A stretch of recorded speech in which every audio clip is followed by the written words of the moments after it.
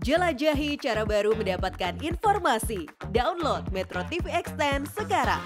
Pasca dihentikannya proses pencarian terhadap delapan penambang emas asal Bogor yang terjebak di lubang tambang emas di Banyumas, Jawa Tengah, warga desa Kiarasari, Sukajaya, Bogor, Rabu sore kemarin menggelar sholat goib dan doa bersama untuk warganya yang menjadi korban. Sholat goib dan doa bersama yang digelar pemerintah desa Kiarasari, Kecamatan Sukajaya Bogor ini digelar di halaman kantor desa setempat dan diikuti oleh puluhan warga, kerabat, dan keluarga korban.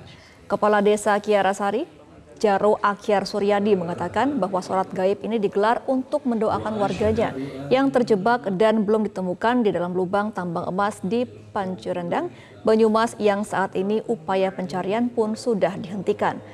Dan menurut Akhir, proses penghentian pencarian tersebut juga sudah diikhlaskan oleh seluruh keluarga korban.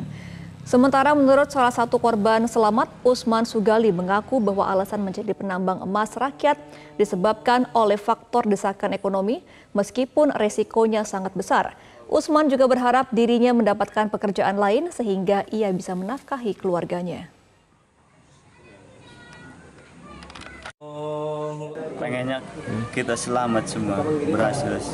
Yang namanya kita usaha ya kita usaha mengadu nasib mengadukan rezeki kita kan di sana. Mudah-mudahan rezeki. Kita juga kan eh, bukan harapan kami. Ya anggap saja itu mah musibah kita semua. Kembali lagi ke takdir kita rekan-rekan kita di sono ya